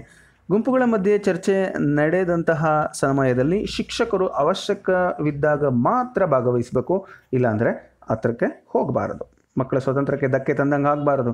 ಸೊ ಹಾಗಾದರೆ ಈ ಒಂದು ಪದ್ಧತಿಯಲ್ಲಿ ಶಿಕ್ಷಕರ ಪಾತ್ರ ಏನು ಅಂತ ನಾವು ನೋಡೋದಾದರೆ ಪ್ರಮುಖವಾಗಿ ಶಿಕ್ಷಕರ ಪಾತ್ರ ಈ ಥರ ಇದೆ. ಶಿಕ್ಷಕರು ತರಗತಿಯಲ್ಲಿ ಚಿಕ್ಕ ಚಿಕ್ಕ ಗುಂಪುಗಳನ್ನಾಗಿ ವಿಂಗಡಿಸಿ ಮಾರ್ಗದರ್ಶನ ನೀಡಿ ಕಂಡುಕೊಂಡ ಪರಿಹಾರ ಅಂಶಗಳನ್ನು ಸಾರಾಂಶವನ್ನು ನೀಡಬೇಕು. ಚರ್ಚೆ ಆದ ನಂತರ ಸಾರಾಂಶವನ್ನು ಶಿಕ್ಷಕ ಕ್ರೋಢೀಕರಣ ಮಾಡಿ ಹೇಳಬೇಕು. ಹಾಗೆ ವಿದ್ಯಾರ್ಥಿಗಳು ಶಿಕ್ಷಕರೊಡನೆ ಶಿಕ್ಷಕರು ವಿದ್ಯಾರ್ಥಿಗಳು ಯಾವ ರೀತಿ ಚರ್ಚಿಸಬೇಕು ಎಂಬುದನ್ನು ಅರಿತಿರಬೇಕು, ಶಿಕ್ಷಕ ಮೊದಲು ಅವನಿಗೆ ಜ್ಞಾನ ಇರಬೇಕು. ಹಾಗೆ ಶಿಕ್ಷಕರು ವಿದ್ಯಾರ್ಥಿಗಳಲ್ಲಿ ಸಾಮಾಜಿಕ ಅಂಶಗಳಾದ ಆಸಕ್ತಿ, ಅಭಿವೃದ್ಧಿ, ಹವ್ಯಾಸಗಳನ್ನು ಅಭಿವೃದ್ಧಿಗೊಳಿಸಬೇಕು. ಹಾಗೆ ಶಿಕ್ಷಕರು ಸಮೂಹ ಕಾರ್ಯಚಟುವಟಿಕೆಗಳಲ್ಲಿ ಮೇಲ್ವಿಚಾರಣೆ ಮಾರ್ಗದರ್ಶನ ಮತ್ತು ವೈಯಕ್ತಿಕ ಆಸಕ್ತಿಯನ್ನು ಹೊಂದಿರಬೇಕು. ಮೇಲ್ವಿಚಾರಣೆ ಮಾಡಬೇಕು ವೆಲ್ ಗೈಡೆನ್ಸ್ ಕೊಡಬೇಕು. ಹಾಗೆ ಮೊದಲು ಅವರು ವೈಯಕ್ತಿಕವಾಗಿ ಆಸಕ್ತಿಯನ್ನು ಹೊಂದಿರಬೇಕು. ಅವ್ರಿಗೆ ಆಸಕ್ತಿ ಇಲ್ಲ ಅಂದರೆ ಹೇಗೆ? ಇದಿಷ್ಟು ಶಿಕ್ಷಕರ ಒಂದು ಪಾತ್ರ ಆಗುತ್ತೆ. ಹಾಗೆ ಚರ್ಚಾ ಪದ್ಧತಿಯ ಗುಣಗಳು ಮತ್ತು ದೋಷಗಳನ್ನು ನೋಡೋಣ. ಏನೇನು ಗುಣಗಳಿದ್ದಾವೆ ಇದಕ್ಕೆ ಇರ್ತಕ್ಕಂಥ ಒಳ್ಳೆಯ ಗುಣಗಳು ಮೆರಿಟ್ಸ್ ಆ್ಯಂಡ್ ಡಿಮೆರಿಟ್ಸ್ ಡಿಸ್ಕಷನ್ ಮೆಥಡಲ್ಲಿ ಪ್ರಮುಖವಾಗಿ ವಿದ್ಯಾರ್ಥಿಗಳು ತನ್ನ ವೈಚಾರಿಕತೆಯನ್ನು ಪ್ರದರ್ಶಿಸಲು ಸಹಾಯಕವಾಗುವ ಸಾಮಾಜಿಕ ವಾತಾವರಣವಿರುತ್ತದೆ. ಅಂದರೆ ಮಕ್ಕಳಿಗೆ ನಾವು ಪಾಠ ಮಾಡ್ಕೊತ ಹೋಗ್ತೀವಿ, ಉತ್ತರ ಹೇಳ್ತಾರೆ, ಪ್ರಶ್ನೆ ಕೇಳ್ತಾರೆ, ಉತ್ತರ ಹೇಳ್ತಾರೆ. ಆದರೆ ಅವರಲ್ಲಿರ್ತಕ್ಕಂತಹ ಸಾಮಾಜಿಕ ಅಥವಾ ವೈಚಾರಿಕತೆಯನ್ನು ಪ್ರದರ್ಶನ ಮಾಡಲಿಕ್ಕೆ ಅವಕಾಶ ಇರಂಗಿಲ್ಲ. ಬಟ್ ಚರ್ಚಾ ಪದ್ಧತಿಯಲ್ಲಿ ಆ ಒಂದು ಚಾನ್ಸ್ ಅವರಿಗೆ ಸಿಕ್ಕುತ್ತೆ, ಒಂದು. ಇನ್ನು ವಿದ್ಯಾರ್ಥಿಗಳಲ್ಲಿ ಅಭಿವ್ಯಕ್ತಿ ಸ್ವಾತಂತ್ರ್ಯಕ್ಕೆ ಹೆಚ್ಚು ಪ್ರೋತ್ಸಾಹ. ಅವರು ಏನಾದರೂ ಅವರ ಒಂದು ಅಭಿಪ್ರಾಯವನ್ನು ವ್ಯಕ್ತಪಡಿಸಲಿಕ್ಕೆ ಚಾನ್ಸ್ ಸಿಗುತ್ತೆ. ಈಗ ನಾವು ಎಷ್ಟೋ ವಿಚಾರಗಳನ್ನು ತಿಳ್ಕೊಂಡಿರ್ತೀವಿ. ಈಗ ನಾನಾದರೂ ಆಗಿರ್ಬೋದು, ನಾನು ಬಿ ಎಡ್ ಮಾಡುವಾಗ ಅಲ್ಲಿ ನನಗೆ ಎಷ್ಟೋ ವಿಚಾರಗಳು ನನಗೆ ಬರ್ತಾ ಇತ್ತು ತಲೆಯಲ್ಲಿ. ಸೈಕಾಲಜಿ ಲೆಕ್ಚರರ್ ನಮಗೆ ಶಿಲ್ಪಾ, ಶಿಲ್ಪಾಚಾರಿ ಅಂತ ಒಬ್ಬರು ಸರ್ ಇದ್ದರು ಅವರು ಎಷ್ಟು ಚೆನ್ನಾಗಿ ಎಕ್ಸ್ಪ್ಲೈನ್ ಮಾಡ್ತಾ ಇದ್ರು ಅಂದರೆ ಒಂದು ಸರಿ ನಮಗೊಂದು ಪ್ರಶ್ನೆ ಕೇಳಿದರು. ನಮಗೆ ಏನಂದರೆ ಇವತ್ತು ಒಂದು ಕ್ಲಾಸ್ ಇದೆ. ಇಂಪಾರ್ಟೆಂಟ್ ಆಗಿದೆ ಅದು. ಸಮಾಜ ಮಿತಿ ತಂತ್ರ ಅಂತೇಳಿ ನಾನು ಬಳಸ್ತಾ ಇದ್ದೀನಿ. ಸೊ ಆ ಪಾಠವನ್ನು ಮಾಡ್ತಾ ಇದ್ದೀನಿ. ಅದಕ್ಕೆ ಮುಂಚೆ ನಿಮಗೆ ಒಂದು ಅಂಶ, ವಿಚಾರ ಹೇಳ್ತೀನಿ. ಇವತ್ತು ಒಂದು ಚಿತ್ರದುರ್ಗದಲ್ಲಿ ಒಂದು ಟ್ಯಾಕೀಸಲ್ಲಿ ಒಂದು ಒಳ್ಳೆ ಫಿಲಮ್ ಹಾಕಿದ್ದಾರೆ. ಸೊ ನಾನು ಬರ್ತೀನಿ. ಈ ಪಾಠ ನಂತರ ನೋಡೋಣ ಬೇಕಾರೆ ಅದೇನು ಇಂಪಾರ್ಟೆಂಟ್ ಇದ್ರೂ ಪರವಾಗಿಲ್ಲ ಬಟ್ ಫಿಲಮ್ಗೆ ಯಾರ್ಯಾರು ಬರ್ತೀರಾ, ಹೋಗೋಣ ರೆಡಿ ಆಗಿರಿ ಅಂತಂದ್ರೆ. ಅರ್ಧಕ್ಕರ್ಧ ಜನ ಹುಡುಗರು ರೆಡಿ ಆಗಿಬಿಟ್ರು. ಆವಾಗ ಅವ್ರು ಹೇಳಿದರು, ಏನಂತ? ನಿಮಗೇನಾದರೂ ಸ್ವಲ್ಪನಾದರೂ ನಾಲೆಡ್ಜ್ ಇದೆಯಾ ಅಂತೇಳಿ, ಚೆನ್ನಾಗಿ ಅದೇನಂತಲ್ಲ ದೊಡ್ಡ ಕೆರೆಗೆ ಹಾಕಿ ಸಣ್ಣ ಕೆರೆಯಲ್ಲಿ ತೆಗೆದ್ರು ಅಂದಂಗೆ ಏನೇನೋ ಬೈದು ಚೆನ್ನಾಗಿ ಮಂಗಳಾರತಿ ಮಾಡಿ ಎಂತೆಂಥವ್ರನ್ನ ಅಳಿಸಿದ್ರು ಅಂದರೆ, ಯಾವತ್ತೂ ಕಣ್ಣೀರು ಹಾಕಿಲ್ದೇ ಇರತಕ್ಕಂಥವ್ರು ಕಣ್ಣೀರು ಹಾಕಿದರು. ಆ ರೀತಿ ಅವರಿಗೆ ಮನಸ್ಸಿಗೆ ನಾಟುವಂಥ ರೀತಿಯಲ್ಲಿ ಶಬ್ದಗಳನ್ನು ಬಳಕೆ ಮಾಡಿ ತನ್ನ ಒಂದು ವಿಚಾರಗಳನ್ನು ವ್ಯಕ್ತಪಡಿಸಿದರು. ಆದರೆ ನಾವೆಲ್ಲ ಅವಾಗ ಪುಣ್ಯಕ್ಕೆ ಬೇಡ ಸರ್, ಪಾಠ ಬೇಕು ಅಂತ ಹೇಳಿದ್ವಿ. ಸೊ ಆ ರೀತಿಯಾಗಿ ಒಂದು ಚಟುವಟಿಕೆ ನಡೆದಿತ್ತು. ಇರಲಿ ಒಟ್ಟು ಆ ಒಂದು ನಮ್ಮ ಒಂದು ಅಭಿವ್ಯಕ್ತಿಯನ್ನು ಮಂಡಿಸ್ಲಿಕ್ಕೋಸ್ಕರ ಒಳ್ಳೆಯ ವಿಧಾನ ಇದು. ಯಾವುದು? ಚರ್ಚಾ ಪದ್ಧತಿ. ಹಾಗೆ ವಿದ್ಯಾರ್ಥಿಗಳಲ್ಲಿ ನಾಯಕತ್ವದ ಗುಣವನ್ನು ಬೆಳೆಸುತ್ತೆ. ಅಂದರೆ ಲೀಡರ್ಶಿಪ್ ಕ್ವಾಲಿಟೀಸ್ ಬರುತ್ತೆ. ಇಲ್ಲಾಂದರೆ ಸುಮ್ಮನೆ ಲೀಡರ್ ಆಗೋ ಲೀಡರ್ ಆಗೋ ಅಂದರೆ ಈ ಥರ ಮಾತಾಡಲಿಕ್ಕೆ, ಚರ್ಚೆ ಮಾಡಲಿಕ್ಕೆ ಬಿಡಬೇಕು. ಹಾಗೆ ಇದು ಹಿರಿಯ ಪ್ರಾಥಮಿಕ ಮತ್ತು ಉನ್ನತ ತರಗತಿಗಳಲ್ಲಿ ಉಪಯೋಗಕ್ಕೆ ಬರುತ್ತೆ. ಸಣ್ಣ ಮಕ್ಕಳಿಗಲ್ಲ ಇದು. ಹಾಗೆ ಇದು ಕಲಿಕೆಯಲ್ಲಿ ಪರಿಣಾಮಕಾರಿಯಾದಂತಹ ಒಂದು ವಿಧಾನ ಆಗಿದೆ ಅಂತಕ್ಕಂಥದ್ದು ನಿಮಗೆ ಗೊತ್ತಿರಲಿ. ಆದಾಗ್ಯೂ ಕೂಡ ಈ ಒಂದು ವಿಧಾನದಲ್ಲಿ ಅವಗುಣಗಳಿದ್ದಾವೆ. ಯಾವ ಅವಗುಣಗಳಿದ್ದಾವೆ? ಇತಿಹಾಸದ ಎಲ್ಲ ವಿಷಯಗಳು ಅಥವಾ ಅಧ್ಯಾಯಗಳಿಗೆ ಈ ಚರ್ಚೆ ಅನುಕೂಲಕರವಾಗಿರುವುದಿಲ್ಲ. ಹಾಗೆ ಈ ಪದ್ಧತಿಯ ಬೋಧನೆಯಿಂದಾಗಿ ವೇಳೆ ಅಪವ್ಯಯವಾಗುತ್ತೆ. ಅಂದರೆ ತುಂಬ ಟೈಮ್ ಹಿಡಿಯುತ್ತೆ. ಸಾಕಷ್ಟು ಟೈಮ್ ವೇಸ್ಟ್ ಆಗುತ್ತೆ ಅಂತಕ್ಕಂಥದ್ದು. ಹಾಗೆಯೇ ಚರ್ಚಾ ಪದ್ಧತಿ ವಿದ್ಯಾರ್ಥಿಗಳಲ್ಲಿ ದ್ವೇಷದ ವಾತಾವರಣವನ್ನು ಸೃಷ್ಟಿಸಬಹುದು. ಆಗಲೇ ಹೇಳಿದೆ ಶಿಸ್ತಿಲ್ಲ ಅಂತಂದರೆ ದ್ವೇಷ ಖಂಡಿತ ಆಗುತ್ತೆ. ಹೊರಗೆ ಹೋಗಿ ಅವರಿಬ್ಬರು ಫೈಟಿಂಗ್ ಆಡೋದು ಗ್ಯಾರಂಟಿ ಇನ್ನು ಬಹುತೇಕರು ಶಿಕ್ಷಕರಿಗೆ ಚರ್ಚಾ ಪದ್ಧತಿಗೆ ಸಂಬಂಧಪಟ್ಟಂತೆ ಮಾರ್ಗದರ್ಶನ ನೀಡುವ ಸಾಮರ್ಥ್ಯ ಇರುವುದಿಲ್ಲ. ಚರ್ಚಾ ಪದ್ಧತಿಯನ್ನು ಸರಿಯಾಗಿ ಆಯೋಜನೆ ಮಾಡಿ ಮಕ್ಕಳಿಗೆ ಕೊಡುವಂಥ ಕೆಪಾಸಿಟಿ ಶಿಕ್ಷಕರಿಗೆ ಇರಲಿಲ್ಲ ಅಂದರೆ ಅದು ತುಂಬ ತಪ್ಪಾದಂಥ ವಿಧಾನ ಆಗುತ್ತೆ. ಆದಾಗ್ಯೂ ಈ ಚರ್ಚಾ ಪದ್ಧತಿ ಸಮಾಜ ವಿಜ್ಞಾನ ಶಿಕ್ಷಕರಿಗೆ ಅಥವಾ ಎಲ್ಲ ವಿಷಯದ ಶಿಕ್ಷಕರಿಗೂ ಕೂಡ ಅನುಕೂಲಕರ ಅಂತ ಹೇಳ್ತಾ ಮುಂದಿನ ಒಂದು ವಿಧಾನಕ್ಕೆ ಹೋಗ್ತಾ ಇದ್ದೀನಿ. ಅದೇನಪ್ಪ ಅಂದರೆ ಯೋಜನಾ ವಿಧಾನ. ಸೊ ಈ ಯೋಜನಾ ವಿಧಾನಕ್ಕೆ ಸಂಬಂಧಪಟ್ಟಂತೆ ನಾವು ಮೊದಲಿಗೆ ಡೆಫಿನೇಷನನ್ನು ನೋಡೋಣ. ಈ ಯೋಜನಾ ವಿಧಾನ ಎಲ್ಲಿಂದ ಯಾರು ಜಾರಿಗೆ ತಂದರು ಅಂತ? ಈ ಯೋಜನಾ ಪದ್ಧತಿ ಅಮೆರಿಕದ ತತ್ವಶಾಸ್ತ್ರಜ್ಞರಾದ ಶಿಕ್ಷಣ ತಜ್ಞರಾದಂಥ ಜಾನ್ ಡೂಯಿ ಅವರಿಂದ ಪ್ರತಿಪಾದಿಸಲ್ಪಟ್ಟಿದೆ. ಸಾರ್ ಕಿಲ್ ಪ್ಯಾಟ್ರಿಕ್ ಅಲ್ವೇನ್ ಸಾರ್ ಅನ್ಬೇಡ್ರಿ. ಪ್ರತಿಪಾದಿಸಲ್ಪಟ್ಟಿದ್ದು. ಆದರೂ ಕೂಡ ಕೊಲಂಬಿಯಾ ವಿಶ್ವವಿದ್ಯಾಲಯದ ಡಾಕ್ಟರ್ ವಿಲಿಯಂ ಕಿಲ್ ಪ್ಯಾಟ್ರಿಕ್ ಇವರು ಇದನ್ನು ಬೆಳಕಿಗೆ ತಂದರು. ಓಕೆ ನಿಮ್ಮ ಡೌಟ್ ಕ್ಲಿಯರ್ ಆಯಿತು? ಈ ವಿಧಾನವನ್ನು ಮನೋವಿಜ್ಞಾನದ ಥಾರ್ಡೈಕ್ ರವರ ಅಭ್ಯಾಸ ನಿಯಮ, ಸಿದ್ಧತಾ ನಿಯಮ ಮತ್ತು ಪರಿಣಾಮ ನಿಯಮವನ್ನು ಅನುಸರಿಸುತ್ತದೆ. ನೋಡಿ, ಈ ಒಂದು ಯೋಜನಾ ವಿಧಾನ ತುಂಬ ಇಂಪಾರ್ಟೆಂಟ್ ಪ್ರಾಜೆಕ್ಟ್ ಮೆಥಡ್ ಅಂತ ನಾವು ಕರಿತೀವಿ. ಸಾಕಷ್ಟು ಪರೀಕ್ಷೆಗಳಲ್ಲಿ ಈ ಒಂದು ವಿಧಾನವನ್ನು ಕೇಳಿದ್ದಾರೆ. ಮೂಲಾಧಾರ ವಿಧಾನ ಕೇಳಿದ್ದಾರೆ. ಅದಕ್ಕೆ ಇದನ್ನು ನಾವು ನಿಮಗೆ ಸ್ಟ್ರೆಸ್ ಮಾಡಿ ತಿಳಿಸ್ತಾ ಇದ್ದೀನಿ. ಈ ಯೋಜನಾ ವಿಧಾನ. ನಿಮಗೆ ಒಂದು ಪ್ರಶ್ನೆ ಕೇಳ್ಬೋದು? ಯಾವ ಬೋಧನಾ ವಿಧಾನವು ಥಾರ್ಡೈಕ್ ರವರ ಅಭ್ಯಾಸ ನಿಯಮ, ಸಿದ್ಧತಾ ನಿಯಮ ಮತ್ತು ಪರಿಣಾಮ ನಿಯಮವನ್ನು ಅನುಸರಿಸುತ್ತದೆ ಅಂತ ಕೇಳಿದರೆ ಯೋಜನಾ ಪದ್ಧತಿ ಅಂತ ಬರೀಬೇಕು. ಓಕೆ? ಸೊ ಕಿಲ್ ಪ್ಯಾಟ್ರಿಕ್ ರವರ ಒಂದು ಡೆಫಿನೇಷನ್ ನೋಡೋಣ. ಯೋಜನಾ ಪದ್ಧತಿ ಅಂದರೆ ಏನು ಅಂತ? ಸಾಮಾಜಿಕ ಸನ್ನಿವೇಶದಲ್ಲಿ ಸ್ವಯಂ ಸ್ಫೂರ್ತಿಯಿಂದ ಹಾಗೂ ಸ್ವಯಂ ಇಚ್ಛೆಯಿಂದ ನಡೆಯುವ ಉದ್ದೇಶಪೂರಿತ ಚಟುವಟಿಕೆಗಳಿಗೆ ಯೋಜನಾ ಪದ್ಧತಿ ಅಂತ ಕರೀತಾರೆ. ಇದು ಕಿಲ್ ಪ್ಯಾಟ್ರಿಕ್ ರವರ ಪ್ರಕಾರ ಡೆಫಿನೇಷನು ಇನ್ನು ಸಿ ವಿ ಗುಡ್ ರವರಿದ್ದಾರೆ ಸಾಕಷ್ಟು ಜನ ಹೇಳಿದ್ದಾರೆ. ಸ್ಟೀವನ್ಸನ್ ಅವರು ಹೇಳಿದ್ದಾರೆ, ಥಾಮಸ್ ಮತ್ತು ಅವರು ಥಾಮಸ್ ರವರು ಕೂಡ ಹೇಳಿದ್ದಾರೆ. ಸೊ ಹಾಗಾಗಿ ನಾನು ಕೆಲವೊಬ್ಬರದ್ದು ಮಾತ್ರ ತಗೊಂಡಿದ್ದೀನಿ, ನಿಮಗೆ ಸರಳವಾಗಿ ಅರ್ಥ ಆಗಲಿ ಅಂತಕ್ಕಂಥ ಉದ್ದೇಶದಿಂದ.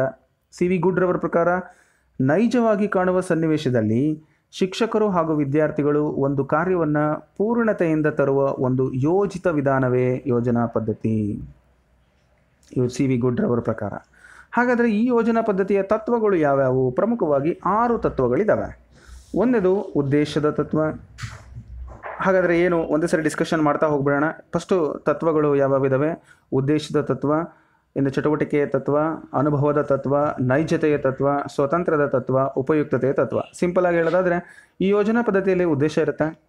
ಚಟುವಟಿಕೆಯಿಂದ ಕೂಡಿರುತ್ತೆ, ಅನುಭವವನ್ನು ಒದಗಿಸಿಕೊಡುತ್ತೆ, ನೈಜತೆಗೆ ಹತ್ರವಾಗಿರುತ್ತೆ ಸ್ವಾತಂತ್ರ್ಯದ ಒಂದು ತತ್ವವನ್ನು ಒಳಗೊಂಡಿರುತ್ತೆ. ಹಾಗೆ ಉಪಯುಕ್ತತೆ ಖಂಡಿತ ಇದೆ. ಅದರಲ್ಲಿ ಒಂದೊಂದನೇ ಒಂದೊಂದನೇ ಸ್ವಲ್ಪ ವಿವರವಾಗಿ ನೋಡೋದಾದರೆ, ಮೊದಲನೇದು ಉದ್ದೇಶದ ತತ್ವ. ಸೊ ಈ ಉದ್ದೇಶದ ತತ್ವ ಏನು ಹೇಳುತ್ತೆ ಅಂದರೆ ವಿದ್ಯಾರ್ಥಿಗಳಾದ ನಾವು ಈ ಕೆಲಸವನ್ನು ಏಕೆ ಕೈಗೊಂಡಿದ್ದೇವೆ ಎಂಬುದರ ಜ್ಞಾನವನ್ನು ಹೊಂದಿರಬೇಕು. ಆಗ ಮಾತ್ರ ಅವರು ಆಸಕ್ತಿಯಿಂದ ಈ ಕಾರ್ಯದಲ್ಲಿ ಭಾಗವಹಿಸುವರು. ಜೊತೆಗೆ ಉದ್ದೇಶಿಸಿದ ಉದ್ದೇಶ ಅರ್ಥಪೂರ್ಣವಾಗಿರಬೇಕು ಅಂತಕ್ಕಂಥದ್ದು ಮೊದಲನೇದು. ಇನ್ನು ಚಟುವಟಿಕೆಯ ತತ್ವ ಅಂತ ಹೇಳಿದ್ರೆ ವಿದ್ಯಾರ್ಥಿಗಳು ಹೆಚ್ಚಾಗಿ ನಿಸರ್ಗ ಪ್ರಿಯರಾಗಿರ್ತಾರೆ ಚಟುವಟಿಕೆಯ ಪ್ರಿಯರಾಗಿರ್ತಾರೆ. ಕಾರಣ ಯೋಜನೆಯಲ್ಲಿ ಚಟುವಟಿಕೆಗಳಿಗೆ ಸಾಕಷ್ಟು ಅವಕಾಶ ಕೊಡಬೇಕು. ಅಂದರೆ ನೀವು ಯೋಜನಾ ಪದ್ಧತಿಯನ್ನು ರೂಪಿಸ್ತಿದ್ದೀರ ಅಂದರೆ ಅಲ್ಲಿ ಚಟುವಟಿಕೆಗೆ ಚಾನ್ಸ್ ಇರಬೇಕು. ಸಾಕಷ್ಟು ಚಟುವಟಿಕೆಗೆ ಯೋಜನೆಯಲ್ಲಿ ಸ್ವತಂತ್ರವಾಗಿ ವಿಚಾರ, ವಿಚಾರಿಸುವುದಕ್ಕೂ, ಯೋಜನೆಯನ್ನು ಸಿದ್ಧಪಡಿಸುವುದಕ್ಕೂ, ವಿದ್ಯಾರ್ಥಿಗಳಿಂದ ಕಾರ್ಯಗತಗೊಳಿಸುವುದಕ್ಕೂ ಸಾಕಷ್ಟು ಅವಕಾಶ ಇರಬೇಕು. ಇನ್ನೊಂದು ಅನುಭವದ ತತ್ವ ಅಂತ ಇದೆ. ಈ ಪದ್ಧತಿಯ ಮಗುವಿನಲ್ಲಿ, ಗುಂಪಿನಲ್ಲಿ ಕೆಲಸ ಮಾಡುವಂತೆ ಪ್ರಚೋದಿಸುತ್ತೆ. ಅಂದರೆ ಯೋಜನೆಯನ್ನು ಮಾಡುವಾಗ ಒಬ್ಬೊಬ್ಬರಿಗೆ ಕೊಡೋದಿಲ್ಲ. ಒಂದು ಗ್ರೂಪಿಗೆ ಕೊಟ್ಟಿರ್ತಾರೆ ಅದನ್ನು. ಇಲ್ಲಿ ಮಗುವು ಬೇರೆಯವರೊಂದಿಗೆ ಸಹಕಾರ, ಪ್ರಾತ್ಯಕ್ಷಿಕೆ, ಹಾಗೆ ಪ್ರಜಾಪ್ರಭುತ್ವ, ನಾಗರಿಕತೆ ಮುಂತಾದ ಅನುಭವಗಳನ್ನು ಹೊಂದಾನೆ ಹಾಗಾಗಿ ಅನುಭವ ಅಂತಕ್ಕಂಥದ್ದು ಚೆನ್ನಾಗಿ ಆಗತ್ತೆ ಅಂತೇಳಿ ನಾವು ನೋಡ್ಬೋದು. ಹಾಗೆಯೇ ಇನ್ನು ಉಳಿದಂತೆ ನೈಜತೆಯ ತತ್ವ, ಸ್ವತಂತ್ರದ ತತ್ವ, ಉಪಯುಕ್ತತೆಯ ತತ್ವ. ನೈಜತೆಯ ತತ್ವದ ಬಗ್ಗೆ ನಾನು ಸ್ವಲ್ಪ ನಿಮಗೆ ಮಾಹಿತಿಯನ್ನು ಕೊಡ್ತೀನಿ. ಶಿಕ್ಷಣದ ಮೂಲ ಧ್ಯೇಯ ಇಂದಿನ ಮಕ್ಕಳು ಮುಂದಿನ ದಿನಗಳಿಗೆ ಅಣಿಗೊಳಿಸುವುದು. ಇದಕ್ಕಾಗಿ ಮಗುವು ಈ ಪದ್ಧತಿಯಲ್ಲಿ ತನ್ನೆಲ್ಲ ಶಕ್ತಿಯನ್ನು ಉಪಯೋಗಿಸಿಕೊಳ್ಳುವ ಅವಕಾಶವನ್ನು ಒದಗಿಸುತ್ತದೆ. ಇದು ನೈಜವಾಗಿ ಒದಗಿಸ್ತಕ್ಕಂಥ ಅನುಭವಗಳಿಂದ ಕೂಡಿರುತ್ತೆ. ಇನ್ನು ಸ್ವತಂತ್ರದ ತತ್ವ, ಚಟುವಟಿಕೆಗಳಲ್ಲಿ ಭಾಗವಹಿಸುವ ಅಭಿರುಚಿ, ಸ್ವ ಇಚ್ಛೆಯಿಂದ ಉಂಟಾಗಬೇಕೇ ಹೊರತು ಒತ್ತಾಯದಿಂದಲ್ಲ ಇದು ಅವರ ಅಭಿಲಾಷೆ, ಅಭಿರುಚಿ ಮತ್ತು ಕಲಿಕಾ ಧ್ಯೇಯಗಳಿಂದ ಒಳ ಮೂ ಒಡ ಮೂಡಿರಬೇಕು ಮಕ್ಕಳು ಸ್ವತಂತ್ರವಾದ ವಾತಾವರಣದಲ್ಲಿ ಜೀವಿಸಬೇಕು. ಮಗು ತನ್ನ ಸಾಮರ್ಥ್ಯ ಹಾಗೂ ಶಕ್ತಿಗನುಗುಣವಾಗಿ ಚಟುವಟಿಕೆಯನ್ನು ಆರಿಸಿಕೊಳ್ಳುವ ಹಾಗೂ ಅವುಗಳನ್ನು ಈಡೇರಿಸುವ ಸ್ವತಂತ್ರ ಇರಬೇಕು. ಮಕ್ಕಳಿಗೆ ಸ್ವತಂತ್ರ ಕೊಟ್ಟಿರಬೇಕು. ನಾವು ಅದಕ್ಕೆ ರಿಸ್ಟ್ರಿಕ್ಷನ್ ಅಂತಕ್ಕಂಥದ್ದನ್ನು ಏರಬಾರದು ಅಂತ. ಇನ್ನು ಕೊನೆಯದಾಗಿ ಉಪಯುಕ್ತತೆಯ ತತ್ವ. ಕೈಗೊಂಡ ಚಟುವಟಿಕೆಗಳಲ್ಲಿ ಲಾಭವಾದ ಜ್ಞಾನವು ನಿಜ ಜೀವನದಲ್ಲಿ ಉಪಯೋಗಕಾರಿಯಾಗುವಂತಿರಬೇಕು. ಅಂದರೆ ಯೋಜನೆ ಏನು ಮಾಡ್ತಾರಲ್ಲ, ಅದು ಯೂಸ್ ಇರಬೇಕು. ಸುಮ್ಮನೆ ಯಾವುದೋ ಒಂದು ಯೋಜನೆಯನ್ನು ಕೊಡ್ತಕ್ಕಂಥದ್ದಲ್ಲ. ಈ ಹಂತದಲ್ಲಿ ನೈಜ ಸ್ಥಿತಿಯ ಚಟುವಟಿಕೆಗಳನ್ನು ರೂಪಿಸುವುದರಿಂದ ಯೋಜನೆಯಲ್ಲಿ ಸಂಪಾದಿಸಿದ ಅನುಭವವು ಉಪಯುಕ್ತ ಅನುಭವವಾಗಿರುತ್ತದೆ. ಹೀಗಾಗಿ ಇದು ವಿದ್ಯಾರ್ಥಿಗಳಿಗೆ ತೃಪ್ತಿಯನ್ನು ಲಾಭದಾಯಕ ತರಬೇತಿಯನ್ನು ಒದಗಿಸುತ್ತದೆ ಅಂತಕ್ಕಂಥದ್ದನ್ನು ನಾವು ಮರಿಬಾರ್ದು.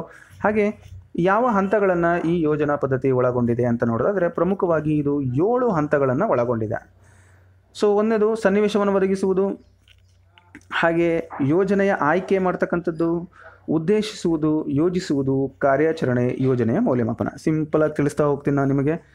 ಯೋಜನೆಯ ಹಂತಗಳು, ಅದರಲ್ಲಿ ಮೊದಲನೇದು ಸನ್ನಿವೇಶವನ್ನು ಒದಗಿಸುವುದು. ಶಿಕ್ಷಕ ವಿದ್ಯಾರ್ಥಿಗಳ ಒಂದು ಆಸಕ್ತಿ ಹಾಗೂ ಸಾಮರ್ಥ್ಯಗಳಿಗೆ ಅನುಗುಣವಾಗಿ ಸನ್ನಿವೇಶವನ್ನು ಒದಗಿಸಬೇಕು. ಸನ್ನಿವೇಶ ಆಹ್ಲಾದಕರವಾಗಿದ್ದು ಕಲಿಕೆಗೆ ಸಹಾಯಕವಾಗುವಂತಿರಬೇಕು. ಬಹಳ ಇಂಪಾರ್ಟೆಂಟ್ ಇದು. ಸೊ ಯೋಜನೆಯನ್ನು ಒದಗಿಸಿಕೊಡ್ಬೇಕು. ಯೋಜನಾ ಪದ್ಧತಿಯಲ್ಲಿ ಮೊದಲನೇ ಹಂತ. ಕೇಳಿದರೆ ಸಾಕಷ್ಟು ಬಾರಿ ಹಂತಗಳನ್ನು ಸರಿಯಾದ ಕ್ರಮದಲ್ಲಿ ಬರೀಬೇಕು ಅಂತ. ನಂತರ ಯೋಜನೆಯನ್ನು ಆಯ್ಕೆ.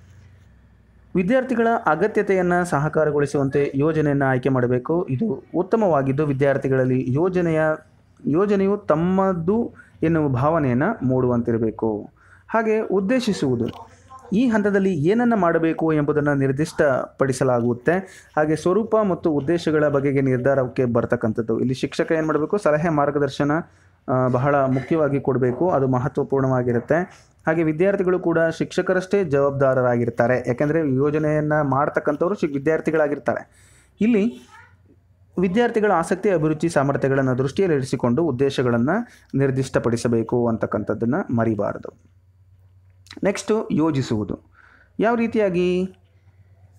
ಯೋಜನೆಯ ಯೋಜನೆಯ ಶೈಕ್ಷಣಿಕ ಮೌಲ್ಯವನ್ನು ಹೊಂದಿರಬೇಕು. ಹಾಗೆ ಯೋಜನೆಯ ಸಹಕಾರ ಸಹಾಯಕವಾಗುವಂಥ ಅಂಶಗಳನ್ನು ಪರಿಶೀಲಿಸಿ, ಯೋಗ್ಯವಿಲ್ಲದಿದ್ದಲ್ಲಿ ಆಯ್ಕೆಗಳನ್ನು ಯೋಗ್ಯವಿದ್ದರೆ ಮಾತ್ರ ಅವುಗಳನ್ನು ಆಯ್ಕೆಯನ್ನು ಮಾಡ್ಕೊಳ್ತಕ್ಕಂಥದ್ದು. ಅಂದರೆ ವಿದ್ಯಾರ್ಥಿಗಳು ಸ್ವತಃ ಯೋಜನೆಯನ್ನು ಮಾಡಬೇಕು ಮತ್ತು ತಮ್ಮ ತಮ್ಮ ತಮ್ಮಲ್ಲೇ ಯೋಜನೆಯನ್ನು ಕುರಿತು ಚರ್ಚೆಯನ್ನು ನಡೆಸಬೇಕು, ಯೋಜನೆ ಉತ್ತಮವಾಗಲು ಸಲಹೆಗಳನ್ನು ಪಡೆಯಬೇಕು ಪರಿವರ್ತನೆ ಮಾಡಲು ಬೇಕಾದ ಅನಿಸಿಕೆಗಳನ್ನು ಪಡೆದ ಯೋಜನಾ ಪುಸ್ತಕದಲ್ಲಿ ನಿರ್ದಿಷ್ಟವಾಗಿ ಬರೆದಿರಬೇಕು. ಇವೆಲ್ಲವೂ ಕೂಡ ಆ ಯೋಜನೆ ಯಾವ ರೀತಿ ಮಾಡಬೇಕು ಅಂತಕ್ಕಂಥದ್ದನ್ನು ತಿಳಿಸ್ಕೊಡುತ್ತೆ. ಇನ್ನು ಕಾರ್ಯಾಚರಣೆ ಬಗ್ಗೆ ನೋಡೋದಾದರೆ ವಿದ್ಯಾರ್ಥಿಗಳು ವಿವಿಧ ಕಾರ್ಯಗಳಲ್ಲಿ ಕಾರ್ಯ ಕರ್ತವ್ಯಕ್ಕೆ ನಿರತರಾಗಿರ್ತಾರೆ.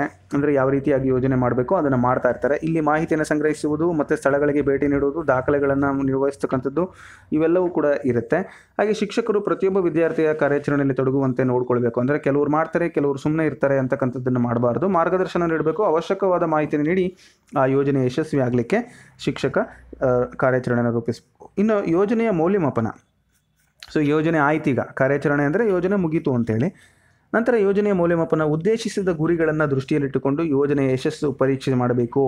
ಅಂದರೆ ಇಲ್ಲಿ ಸಿಂಹಾವಲೋಕನ ಮಾಡ್ತೀವಿ ಅಂತ ಹೇಳ್ತೀವಿ. ವಿಮರ್ಶೆ ಮಾಡ್ತಕ್ಕಂಥದ್ದು, ತಪ್ಪುಗಳನ್ನು ಟಿಪ್ಪಣಿ ಮಾಡಿ, ಇದು ಈ ರೀತಿ ಮಾಡಬೇಕಿತ್ತು, ಇದು ಈ ರೀತಿ ಆಗಬೇಕಿತ್ತು ಅಂತಕ್ಕಂಥದ್ದನ್ನು ಯೋಜನೆಯ ಮೌಲ್ಯಮಾಪನ ಒಳಗೊಂಡಿರುತ್ತೆ. ಅದನ್ನು ಶಿಕ್ಷಕ ತಾನು ಮಾಡಬೇಕು. ಇನ್ನು ಕೊನೆಯದು, ದಾಖಲೆ ಮಾಡ್ತಕ್ಕಂಥದ್ದು. ಅಂದರೆ ಈ ವಿದ್ಯಾರ್ಥಿಗಳು ಮಾಡಿದ ಎಲ್ಲ ಚಟುವಟಿಕೆಗಳನ್ನು ಸಂಪೂರ್ಣವಾಗಿ ದಾಖಲೆಯನ್ನು ಮಾಡಬೇಕು. ಯೋಜನೆಯನ್ನು ಆಯ್ಕೆ ಮಾಡಿದ್ದಾಗಿರ್ಬೋದು, ಅದರ ಯೋಜನೆ ಚರ್ಚೆಯನ್ನು ನಡೆದ ಬಗ್ಗೆ ಹಂಚಿದ ಕರ್ತವ್ಯಗಳು, ಯಾವ ಗ್ರಂಥಗಳನ್ನು, ಆಕಾರಗಳನ್ನು ಬಳಸಿದಿರಿ, ಮತ್ತು ವಿದ್ವಾಂಸರ ತೊಂದರೆಗಳು ಏನಾಗಿತ್ತು, ಹಾಗೆ ಗಳಿಸಿದಂಥ ಮೌಲ್ಯಗಳು ಯಾವ್ಯಾವು ಅಂತಕ್ಕಂಥದ್ದನ್ನು ಆಯ್ಕೆ ಮಾಡ್ಕೊಳ್ತಕ್ಕಂಥದ್ದು. ಸೊ ಇದಿಷ್ಟು ದಾಖಲೀಕರಣ ಮಾಡುವಂಥದ್ದು. ಸೊ ಇನ್ನು ಯೋಜನೆಯ ಪ್ರಕಾರಗಳ ಬಗ್ಗೆ ಬಂದರೆ ಡಾಕ್ಟರ್ ಕಿಲ್ ಪ್ಯಾಟ್ರಿಕ್ ಅವರು ಯೋಜನೆಯಲ್ಲಿ ನಾಲ್ಕು ಪ್ರಕಾರಗಳನ್ನು ಹೆಸರಿಸ್ತಾರೆ.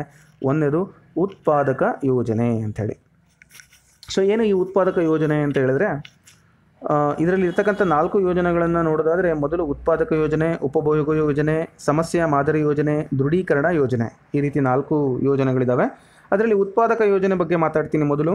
ಉತ್ಪಾದಕ ಯೋಜನೆ ಅಂದರೆ ಈ ಮನೆ ಕಟ್ಟೋದಿರ್ಬೋದು, ಹೂದೋಟಗಳನ್ನು ನಿರ್ಮಾಣ ಮಾಡೋದಿರ್ಬೋದು, ಇವೆಲ್ಲವೂ ಉತ್ಪಾದನೆ. ಸೊ ಇವು ತೋಟ, ತೋಟವನ್ನು ಬೆಳೆಸ್ತಕ್ಕಂಥದ್ದು, ಗಿಡಗಳನ್ನು ನೆಡ್ತಕ್ಕಂಥದ್ದು ಅಥವಾ ಮನೆಯನ್ನು ಕಟ್ತಕ್ಕಂಥದ್ದು ಇವೆಲ್ಲವೂ ಕೂಡ ಉತ್ಪಾದಕ ಯೋಜನೆಗೆ ಸಂಬಂಧಪಡ್ತವೆ. ಇನ್ನು ಎರಡನೇದು ಅನುಭೋಗಿ, ಅನುಭೋಗ ಯೋಜನೆ. ಸೊ ಏನು ಈ ಅನುಭೋಗ ಯೋಜನೆ? ವಿದ್ಯಾರ್ಥಿಗಳಿಗೆ ಅನುಭವ, ಆನಂದವು ಸಿಗುವಂಥ ಯೋಜನೆಗಳಿಗೆ ಅನುಭೋಗಿ ಯೋಜನೆ ಅಂತೇಳಿ ಕರಿತೀವಿ. ಅಂದರೆ ನಾಟಕ ಮಾಡ್ತಕ್ಕಂಥದ್ದು ಇರ್ಬೋದು ಚರ್ಚಾಕೂಟದಲ್ಲಿ ನಿರತನಾಗ್ತಕ್ಕಂಥದ್ದು ಇರ್ಬೋದು ಸೊ, ಇವೆಲ್ಲವನ್ನು ಕೂಡ ಆ ಒಂದು ಅನುಭೋಗ ಯೋಜನೆಯನ್ನು ರೂಪಿಸ್ತಕ್ಕಂಥದ್ದು. ಇದು ಎರಡನೇದು. ಇನ್ನು ಸಮಸ್ಯೆ ಮಾದರಿ ಯೋಜನೆ, ಇದು ಮೂರನೇದು. ಈ ಯೋಜನೆಯಲ್ಲಿ ಸಮಸ್ಯೆಗಳಿಗೆ ಉತ್ತರಗಳನ್ನು ಅವುಗಳಿಗೆ ಯೋಗ್ಯ ಪರಿಹಾರಗಳನ್ನು ಕಂಡು ಹಿಡಿತಕ್ಕಂಥದ್ದು ಬರ್ತಕ್ಕಂಥದ್ದು ಇದು ಮೂರನೇ ಒಂದು ಪ್ರಕಾರ.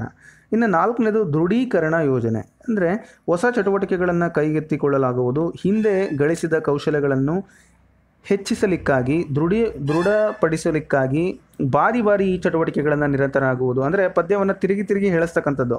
ಅದು ಪರ್ಫೆಕ್ಟ್ ಆಗ್ತದೆ ಅಂತೇಳಿ ಹೇಳ್ಬೋದು. ಸೊ, ಈ ಥರ ನಾಲ್ಕು ಪ್ರಕಾರಗಳನ್ನು ಕಿಲ್ ಪ್ಯಾಟ್ರಿಕ್ ರವರು ಯೋಜನೆಯಲ್ಲಿ ಹೆಸರಿಸಿದ್ದಾರೆ. ಸೊ ನೀವು ಇದರಲ್ಲಿ ಯಾವುದಾದ್ರೂ ಒಂದನ್ನು ಆಯ್ಕೆ ಮಾಡಿಕೊಳ್ಬೋದು. ನಿಮ್ಮ ಪರೀಕ್ಷೆಗಳಲ್ಲಿ ಸಾಕಷ್ಟು ಬಾರಿ ಕೇಳಿದರೆ ಈ ಕೆಳಗಿನ ಯೋಜನೆಗಳಲ್ಲಿ ಯಾವುದು ಕಿಲ್ ಪ್ಯಾಟ್ರಿಕ್ ರವರ ಯೋಜನೆ ಅಂತ ಕೇಳ್ಬೋದು, ಅಥವಾ ನಾಲ್ಕು ಯೋಜನೆಗಳಲ್ಲಿ ಯಾವ್ಯಾವು ಅಂತ ಕೂಡ ನಿಮ್ಮನ್ನು ಕೇಳ್ಬೋದು.